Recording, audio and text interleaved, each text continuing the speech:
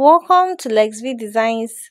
Today we are going to be making a very simple butterfly dress and this dress is as as simple as anything to make. You can make it, it doesn't require zip. You can make it by yourself easily. So this is the sleeve where the hand or the arm will come out through. So let's get right into the video and let's get started.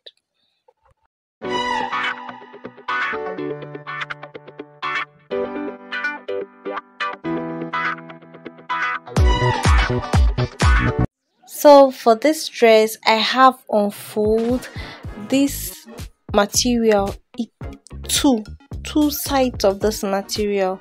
And uh, I have unfold about one and a half one and a half yard for each of them. And uh, this is it. This is what it looks like. I have this unfold so I'll just go ahead and show you how it looks. This is from this side you can see how much I took for this. For each of the sides I have 40 for one side 40 for the other side. So and the measurement I'm working with is not more than 10 and the rest that I'm counting for is for the butterfly is for the you know for the dropping side of the sleeve. So I'm just working with a bust of 10 and that's all. It's not going to be too shapy I'm just going to measure out the length the length of the dress and uh, the length I'm working with is 44 now you can measure out your own length uh, the length you you you want to use you it can be shorter it can be longer. So when that is said and done you go ahead and measure your neck. The neck depth I'm working with is 4 4 neck width 4 neck depth 4 so I'll just go ahead and mark the 4 inches for the neck depth and uh, I'll mark the 4 inches for the neck width. And just like I said you can use more for this neck width you can use more for the neck depth. It depends on your specification what you want okay? So I'll just curve it just like the normal neck. You know I'm curving this for the front and for the back. This is a very simple dress. You can just wear it to anywhere anywhere of your choice. The only difference is how you rock it whether with your slippers it makes it casual with your heels it makes it uh, you know classy and sophisticated. So it depends on what you and the material you're using for it.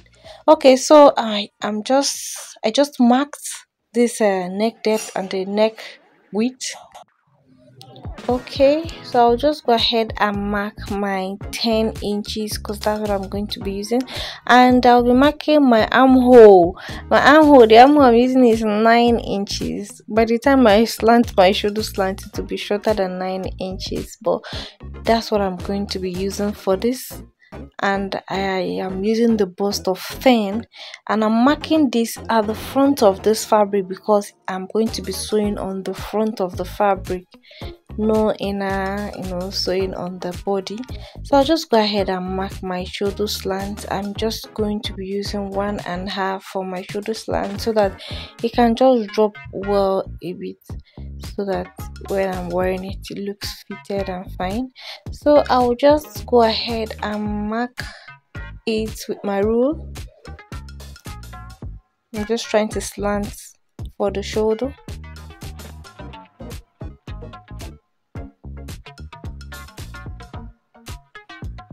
okay. So that's it. And that's almost everything for this dress. So i'll just go ahead and cut it out. No much work in this clothes.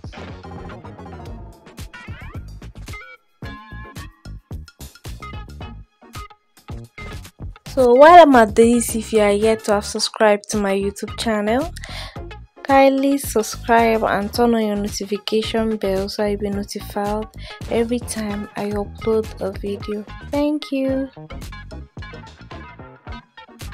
Okay for the down part of this dress now uh, the length i just marked it. I'm going to be cutting out the length. Then i'll just give it a very little curve just you know this way you know this way side it looks you know fine uh, but that's optional. So many people can.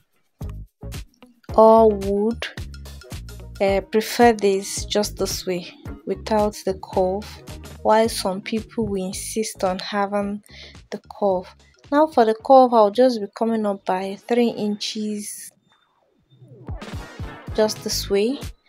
And once I mark my 3 inches I'll just curve it. I'm going to be using freehand because this dress is a bit this fabric is a bit slimy and uh, it's it's very difficult to you know mark it with a chalk so I'll just go ahead and cut it out so you see how it looks